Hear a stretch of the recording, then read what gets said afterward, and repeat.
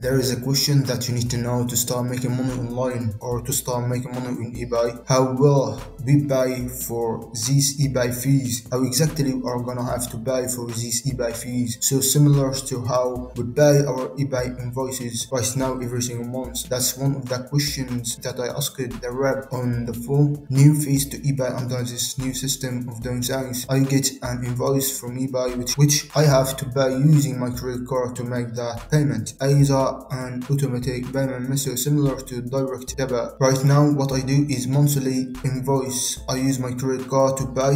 Before the new eBay managed payment system has been introduced and what they are going to do is that they are trying to send you for your seller fees right now. Before they are going to add the fees onto the monthly invoice. So your invoice is going to be slightly higher than what you are used to. So that's exactly how it's going to work. Well it doesn't really matter anyway because you are not paying fees to PayPal. So now for the new fees, when it comes to making payments, you are going to have to pay directly to eBay. Another question is that how exactly does the money go into our pocket if people are not holding on to the money anymore? How exactly are eBay gonna pay us? Where exactly does the money go? The answer is there is going to be a new spread section and the money is going to be held on your eBay account and on your account eBay are going to create, you are going to see. You are going to be able to see a new section once you have signed up. So once you have signed up to the eBay managed payment system, you are going to be able to see a new section where eBay are going to show you the balance of what they owe you. And after that, what you will be able to do is that you are going to be able to set a payout schedule and after that and from your eBay account, eBay are going to release the money directly into your bank account account and I am going to have to wait around a day or two, maybe three days for the money to go directly into my bank account from my eBay account. This is one of the negatives. You have to wait as long as you can manage your cash flow. That's not going to be too much of an issue. You can make adjustments knowing that this is going to be the cash moving forward. You can be aware of it as long as you can manage your cash flow. Another question that people asking me is how are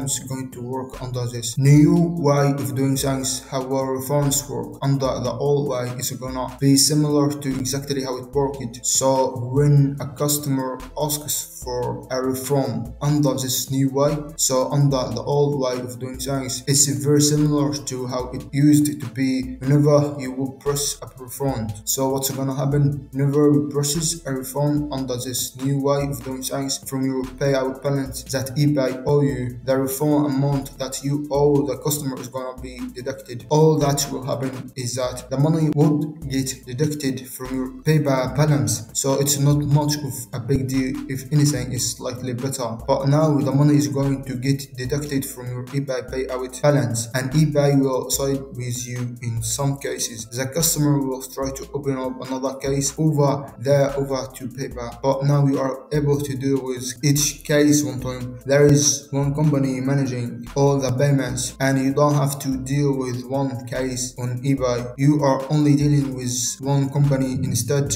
of two my final source companies. So when you are dealing with returns, it makes things a lot more easier. So now on one platform, we have the benefit of dealing with any fraudulent customers, which is always great. The fees are a lot cheaper. It might be slightly cheaper compared to what we was paying before in PayPal, but over time we are going to be able to save a lot. eBay are annoying for trying to get as much money as they can. Let's hope that eBay doesn't increase the fees over time. Let's just hope that the fees stay. So right now everything is great as a company. We all know that eBay has issue from time to time. Let's just hope that there is no issues in eBay. Let's just hope that everything goes smoothly. I will let you guys know straight away if there is any further updates in regards to this new eBay managed payment system. I hope you now understanding how well we pay for these eBay fees when you sell item. I hope you know now how well we pay for these eBay fees and how exactly are we gonna have to pay for these eBay fees to start making money